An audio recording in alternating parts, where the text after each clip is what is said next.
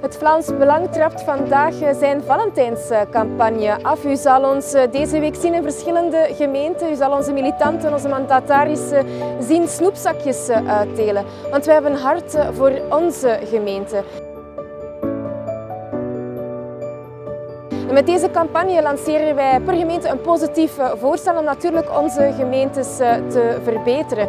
Want eh, we hebben inderdaad, zoals ik al zei, een hart voor onze gemeente. Bijvoorbeeld hier in Braschaat willen wij het behoud van een één politiezone. Waarom? Wij willen niet fusioneren met vijf, zes verschillende politiezones.